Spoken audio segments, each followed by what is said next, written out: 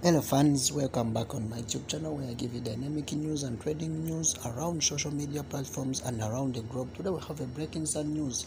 Johannesburg veteran broadcaster Jeremy Mansfield has died at the age of 59 years old. He had been suffer, even lived with cancer and had uh, revealed in August that the diagnosis was uh, terminal the Man- Mansfield appeared on various radio and TV shows during his career. This included uh, 702 and 947. He was he was the host of the TV game show uh, Award 07, which ran for 10 seasons, and the TV comedy show Laugh Out Loud.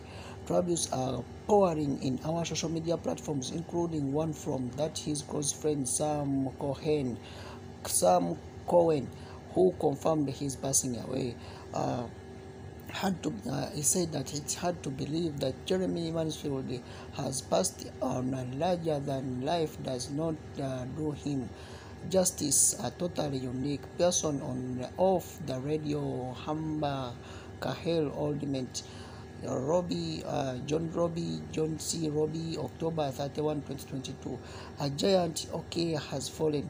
Have been known Jeremy Mansfield since I was two years old.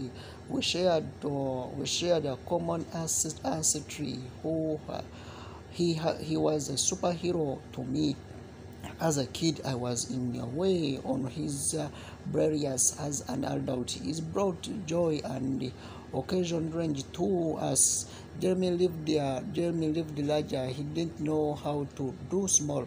He loved hard laughed aloud and managed to combination main chief and made him with heart and soul. May his soul rest in peace. That's what i have for you guys. Subscribe share comment. Condolence upon the family. Don't forget to subscribe